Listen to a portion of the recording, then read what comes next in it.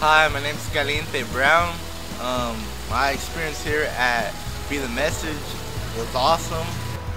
Uh, my experience here was welcoming. They welcomed me as a family. It made me want to get closer to God and actually build my relationship with Him. It's a great experience. You get to learn the Word of God, and It's going to open more opportunities for life. Um, I encourage people to start coming. It's a very beautiful experience, and you're missing out if you're not here. Hey guys, well, I'm just here to share my experience uh, for the first. Well, I just came here for the first time to be the message, and I just want to say that I had a great time. It was a blessing.